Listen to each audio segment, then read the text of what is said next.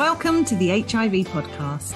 Each week, we focus on a person, historical event, or pop culture moment linked to HIV and explore the story of what actually happened. I'm Sarah. And I'm Jess, and between us, we've been working in the field of HIV for 40 years. Our aim is to get as many people as possible HIV educated. Welcome to HIV podcast. Right, start again. Look, we have to agree a strategy for this. No, it's literally it's a free for all, Sarah. Anyway, I've ruined it now because I went, what? So let's start again, Jess. Do you want me to go? Oh, yeah. Welcome to the HIV podcast. Why, thank you. How are you? Very good. We're in the office, aren't we? We are. So it's sad times because although we promised the sorry CCTV wire with all of the faces Sean's face, Sharon's face, Bernie's face. Sadly, we're in the office today recording, so there is no promote it on hashtag CCTV wire. No wires at all. I have things to say, Sarah. Excellent. Go on. I just wanted to remind everybody that on Monday, the 5th of June, so this Monday coming, it is HIV long term survivors awareness day. And so we've talked about this before because it was brought to our attention. So please do go on either the TVPS website and find the image or in our bio on Instagram. You can find it through our Linktree, the link to the images that we made, or just make your own. Just, just do your own. So it's not that you have to use our stuff. It's not about promoting the podcast. It's about recognizing the day. It's about marking the day. So please do post something to help other people be aware of that. So that is on Monday, everyone. Oh, that's come around quick, isn't it? Hasn't it? I know. I'm like, consider this your reminder. So I want to see things. I want to, I'm going to be checking accounts, guys. Getting serious. I'm cracking the whip here. Not my account. Not your account, Sarah. There's never anything on your account. I'll never check your accounts. everyone else is. I'm now just threatening people to get involved in activism. I don't believe you. I did one of those stalker things, you know, when you can check on your top 10 stalkers. You were right up there at number one. I bet I wasn't. so tell me what we have this week. Oh, this week is an interesting one. They're because... all interesting, everyone. So don't don't stop. Don't don't insult everyone else we've covered on a podcast, Sarah, please. No, no, no. It's interesting because it's completely put me off now. Have I insulted everyone else we featured? No, it's interesting because it involves me looking at TikTok, and you know how I feel about TikTok. It is way out of my comfort zone. Do you feel that way? It's Instagram. Well, I love Instagram, and I could just look at it all day. I don't want to have that with TikTok as well. TikTok, I have to say, and this isn't some sort of TikTok promotion, by the way. Although you know, TikTok, come at us, give us some sponsorship, please. I love TikTok. It is my favorite social media platform by a country mile.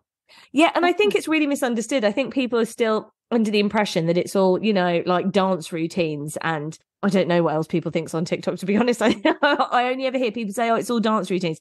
There is so much on there. And you can learn so much even in these tiny little videos. And the thing I find really interesting about TikTok is the algorithm gets to know what you like. So you don't see things that you're not interested in. It's totally cultivated just for you. I mean, I can see the appeal. I just don't want to get sucked into it. And you will, Sarah, you will. You know, mm. they call it doom scrolling, don't they? With TikTok, it's less doom because I very much enjoy it.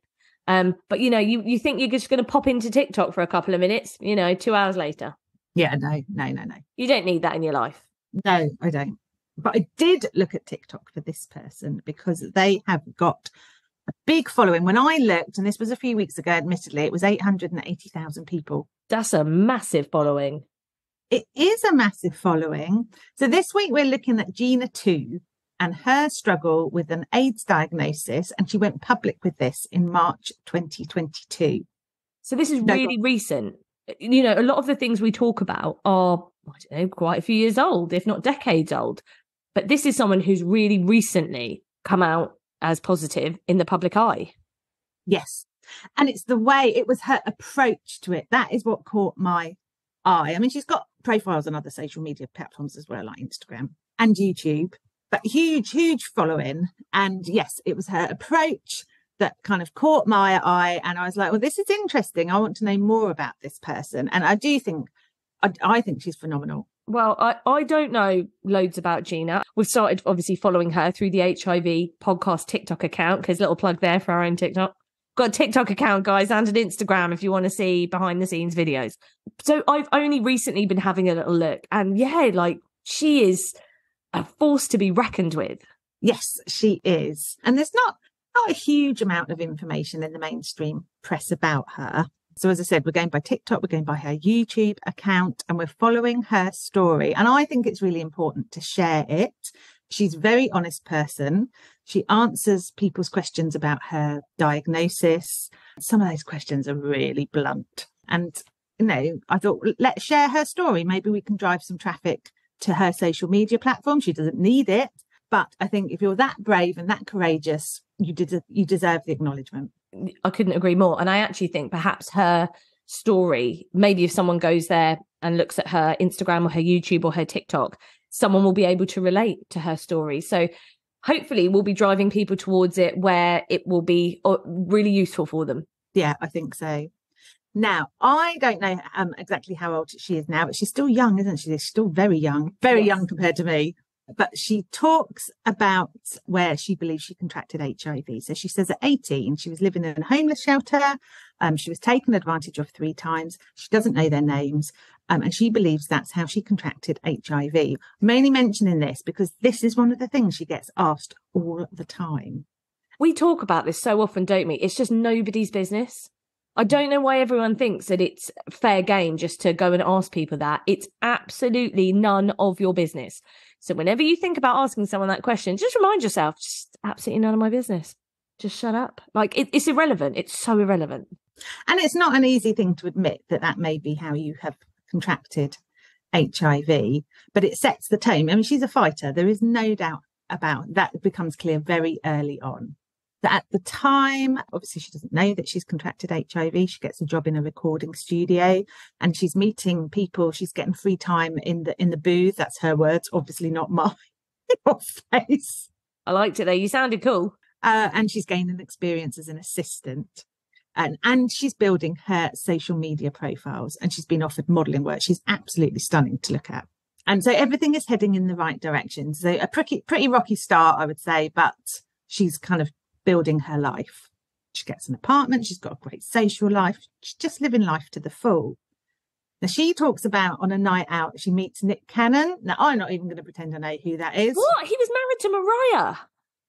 Sarah's oh. face has just oh. exploded into, oh my God, I know who that is. Oh. Remember, they've got the twins together. Is that with him? Yeah. Oh, I didn't know his name. Oh, God, she meets him. So she, he already follows her on Instagram. And when she sees him, when she's out socially and she sees him, she, it's an opportunity she can't overlook, nor would it be an opportunity I could overlook now I know who he is. Yeah, otherwise, straight walking straight past him, no idea. Yes. But, you know, she can't pass up the opportunity to go over and say hi. Uh, they get talking, they go for a drink at a, a really nice hotel. She goes home alone and she leaves the hotel first, and there's paparazzi outside. He leaves after her but the press take a picture of her, a picture of him, join the two together, and then it looks like they left together. Is that what the paparazzi do? I guess it is. Surely there should be laws against that. I don't know. It's yeah, it's not not great, is it? And they don't have a relationship. They don't go on to have a relationship. But she shares the image as I would, photographed with someone that famous. Of course, you're going to share it. So it increases her own social media following. And of course, that following is going to help her career. Obviously, if I was papped with you, I, would I'd immediately seek an injunction to get all pictures destroyed. How rude. going to be papped by anyone, it would be that press in Papua New Guinea. Why? I thought we were big in Papua New Guinea. Oh, oh my God, yeah, we went to number one, didn't we? Yes. Was it in Papua New Guinea? I thought it was Paraguay. Oh, look, Take all of this out because Gena doesn't care about any of this. Our silly witterings on you. Better edit all of that. I was literally staring at you like Papua New Guinea. Why would we get papped there? We're not going to get papped by anyone. Nobody's ever heard of us. Anyway, let's move on. So Gena, by this time she's living in LA. She's obviously working away, building up her career. And one day she has what she describes as booty issues. She can't poop. And when she does, it's very painful goes to the doctors. In fact, she goes to the doctor several times and she's none the wiser as to what's causing all of this. And now she's getting other symptoms. An itchy skin rash, for example, is one of them that she talks about. Now, people on TikTok and people on Instagram have called her out on this and said, Oh, come on, when you started getting those symptoms, weren't you testing for STIs? And she says, Well, I did actually. And I thought included in those tests would be a test for HIV. She didn't realize HIV wasn't included in those tests. She just asked for an STD test. I think, you know, you're going to be guided by your physician, by your, like, we say GP here, don't we? But by your doctor.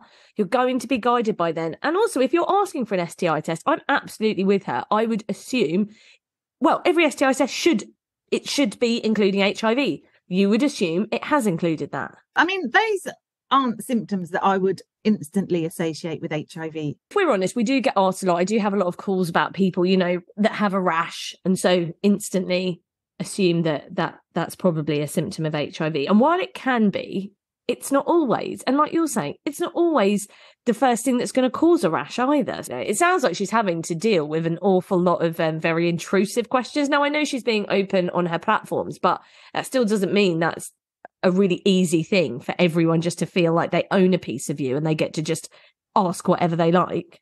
I know. Anyway, her health gets worse. So she's getting headaches, she's getting fevers, and she goes to see three different GPs. The first one says she's fine. She's like, well, I'm really not. The second one says they suspect cervical cancer. So she goes to see a third doctor. Their doctor says, no, this isn't cervical cancer. Oh, can you imagine by this stage? That is like fighting for your own health, isn't it? Yeah. You're like, please help me. I'm just going to keep going to doctors. Um, and by now, she is finding it much harder to do stuff, day to day life, uh, because she's got no energy. Her friends are delivering food to her front door, but she hasn't got the energy to go and get the food. And her symptoms are getting worse. So, sickness, diarrhea. In the end, she just resorts to getting an Uber to the hospital. The hospital check her over and they say she's fine and they discharge her. But before she leaves the hospital, she needs the bathroom. And, and as she comes out of the bathroom, the doctor runs up. He's trying to catch up with her. And he says, Oh, thank God you haven't left. Something's not right. We need to run more tests. And they admit her to hospital. So finally, so someone's realised what's going on. I mean, where was that doctor at the start? Where was he when they were discharging her? I know. So they do that. They admit her. They organise more tests. Everything's kind of inconclusive. And then the doctor says to her, almost in passing, he says, Well, you do know you have AIDS? And she's like, No, I do. And he's like, Yes. And that's pretty much how she was told her diagnosis, as blunt as that. No further support. oh, look at you with your little mouth open. Just because that's such um I mean, you must go into a bit of shock. Like you're saying, such a blunt way of being like, right, well, you know, you've got this. That's shocking. So do we know what like how how this was missed, how she was never told? No, she's saying that's the first I knew about it. Doctors clearly assumed she already knew, but of course she didn't. Oh, it's just it's not the best way to be told. And then to not offer any follow up support is that's not acceptable. Well, imagine the questions you'd be left with. Mm. They do give her a month's worth of HIV meds. She doesn't have insurance, so America's different to over here, isn't it? Um, and she doesn't have insurance, so that's all she's allowed. I have so many things to say about the American healthcare system, but I won't say them. I thought you might. That is awful. How, honestly, how how how how can that happen? How? I know. Now her mum picks her up, takes her home to look after her, and of course she's only got limited medication, so her issues continue. So by now she's lost so much weight that she weighs um, sixty pounds, which I think is about four stone yeah, about four stone. And she ends up back in hospital on 16 pills a day and having blood transfusions because she's now so weak. And she's starting to have panic attacks because she's like, I'm, I'm dying. Well, and she's open about all of this on her social media. And she gets messages from people saying, don't take the pills that the hospital are giving you. Go for the natural route. I mean, we get so many of those comments underneath all of our podcasting. I am forever fighting a sea of Dr. Smith and his herbal remedies, you know, don't take your medication. And it's just awful that people still are promoting that message. Yeah, absolutely. And, you know, I'm sure we don't need to say it here, but there's no natural route with HIV. There isn't a homeopathic remedy that can manage HIV. The only way to manage it is by taking HIV medication. Okay. So she's got some people saying, don't take the medication they give you, don't trust them. She's got other people saying, well, you have to take this medication or you'll die.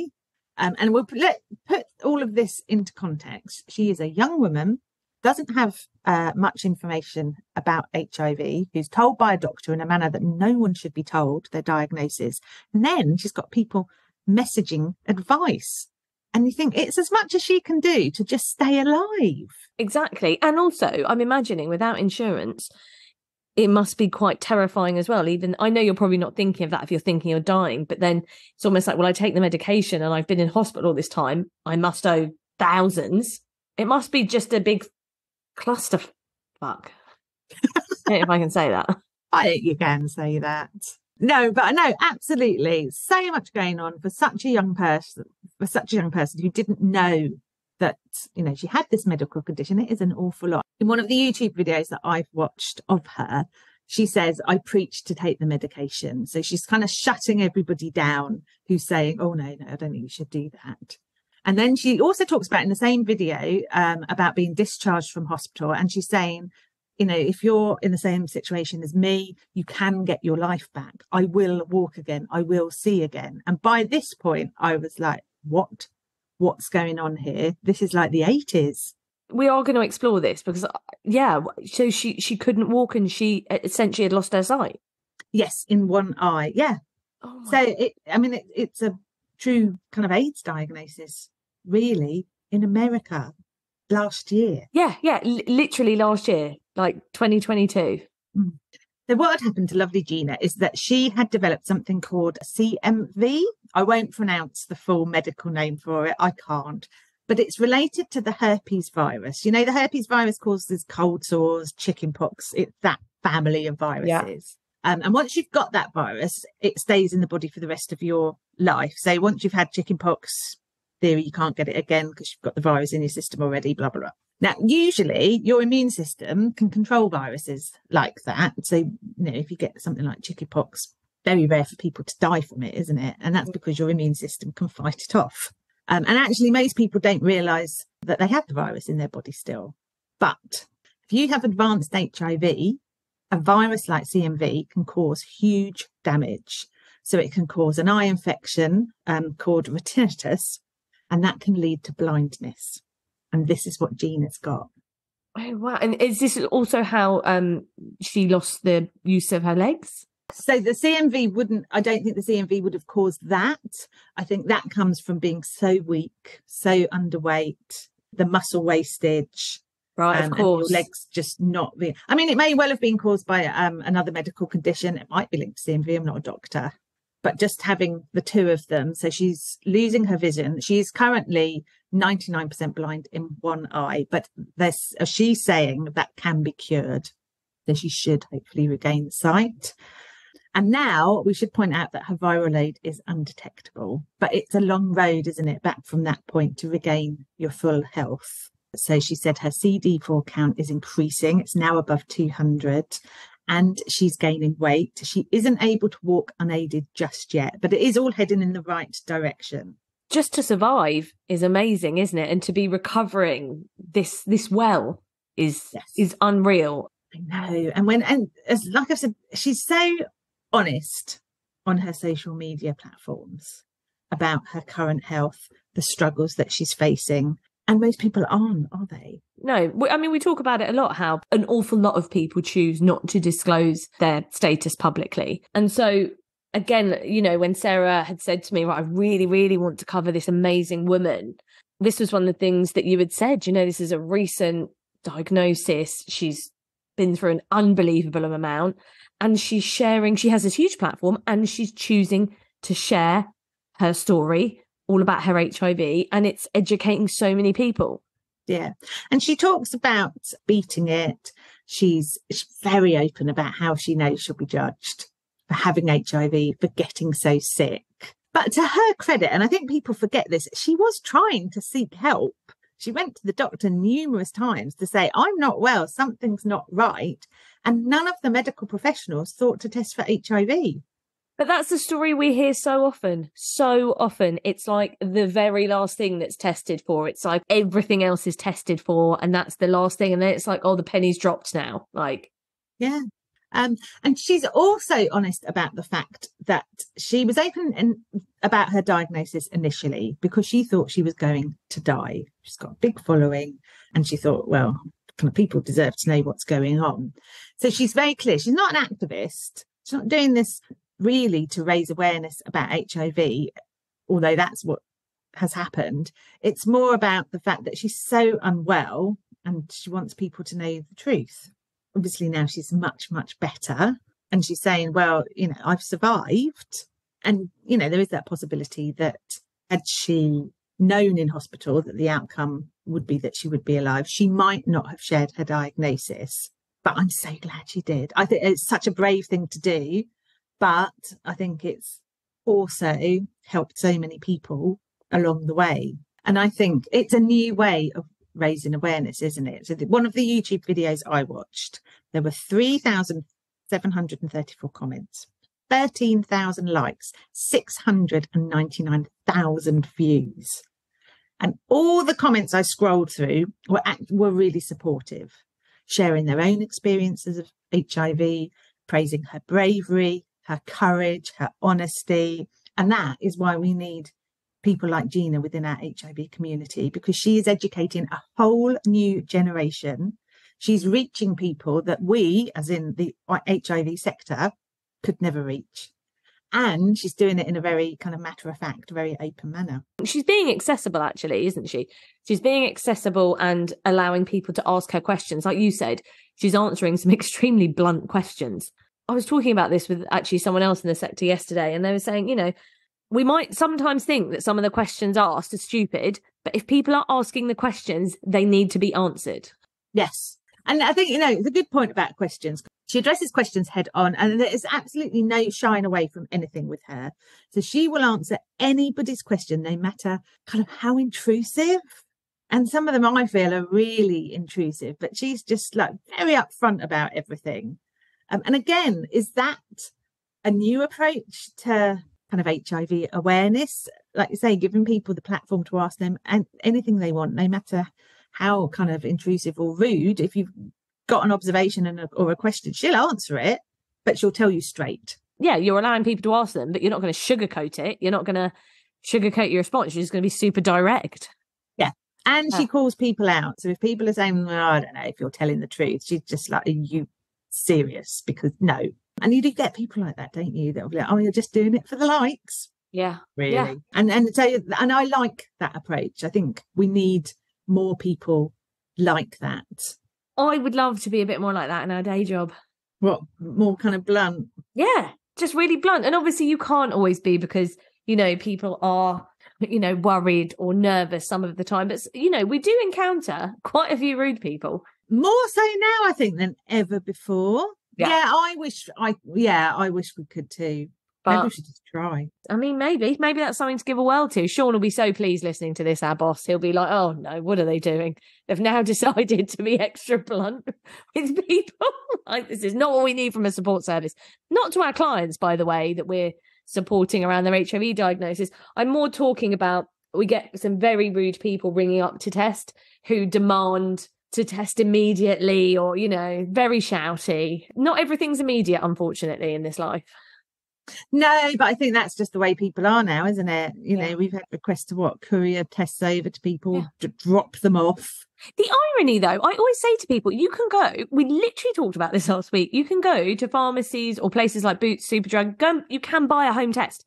You could do that right now. If you have the time to come and test, then you have the time to pop to a shop and buy a test and test yourself. You know, I'm giving you the tools to do that. I don't know why that doesn't happen. Maybe they just want to shout at someone that day. I think there is part of that. Anyway, back to Gena. Yeah. so anyway, the main reason for wanting to feature her, well, like, there were lots of reasons. She is amazing. I really like her attitude. Uh, she is, I think she's handling all of this fantastically well. And when I watch her videos, or anything that she does on social media. Do you know what? I genuinely start to believe that we can dis- diminish the stigma. You know, I'm shocked that she became so ill in America, one of the richest countries in the world. But like I said, full of admiration for her attitude. And I think, you know, moving forward, she might never even get to listen to this episode, but I hope that she knows some way or another that we are all rooting for her and sending her lots of love. She's amazing. Amazingly well said, Sarah. And what what a person to feature. Unbelievable. And there you go. Gena Tew, HIV hero. Yeah, she really is. And even if that's, you know, you've said yourself, she doesn't really want to be an advocate. That's not ever what she set out to be. But I suppose sometimes inadvertently that happens alongside, you know, your honesty and your bravery and your courage in sharing everything. Yes. Yeah, absolutely. Good on her. She's so lovely. Isn't she? And it's an amazing episode in comparison to the one where you just slammed Sharon Stone last week. Oh, but I didn't. I'm jo- I'm jo- I'm literally winding Sarah up because she felt so bad afterwards.